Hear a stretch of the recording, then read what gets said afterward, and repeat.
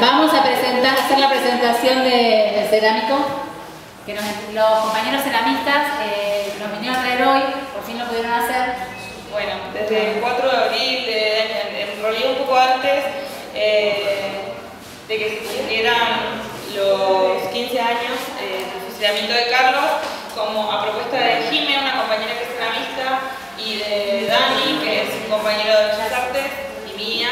pensamos en pedirle a los obreros de Sanón que eh, reeditaran de alguna manera un cerámico que conmemore estos 15 años y que de alguna manera lo representara este, vivo en la lucha de los trabajadores de salud, en la lucha de los trabajadores de las familias que pelean por tierra eh, y techo, en la lucha de los trabajadores de la educación. Y nada, salió esta imagen que fue un poco producida por Dani y por mí. Y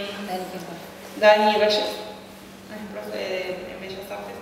Y nada, los obreros muy amablemente, como siempre, mostrando su solidaridad en clase, tomaron esta, propuesta problemas que tienen eh, las gestiones obreras con los materiales, con el con el salario, con todos los escollos que, que, deben sortear todos los meses, lo han traído eh, hacia nosotros y nosotras y es una forma también de, de revivir esta unidad entre los trabajadores de educación y los obreros y los obreros y la, comunidad educativa. Así que bueno, eh, la idea era que podamos invitar a los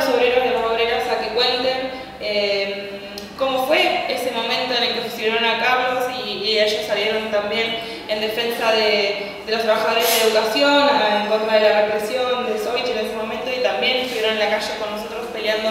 por justicia para Carlos y cárcel a Sovich.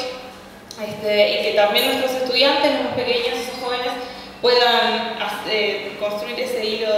rojo que une la historia de los trabajadores y las trabajadoras que a veces tanto pelean por cortarlo. Así que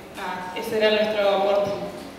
Bueno, y la idea, hoy estuvo uno de los compañeros, a la tarde no pudo venir, uno de los ceramistas, acá trajeron eh, unos cuantos y otros quedaron en Aten, capital. Nosotros con la directiva discutimos que nos parecía bien el diseño, toda la, fue un ida y vuelta ahí entre los compañeros y la comisión directiva, y la propuesta es la siguiente, que quienes estén hoy acá se lleven uno para su escuela, pero que el año que viene, entre el 24 de marzo y el 4 de abril, que es una semana que una semanita y media que condensa dos fechas muy importantes, podamos trabajar junto con los trabajadores de, las cerámicas en las escuelas, eh, bueno, además junto con las madres, con los organismos de derechos humanos y todo, pero y podamos terminar esa semanita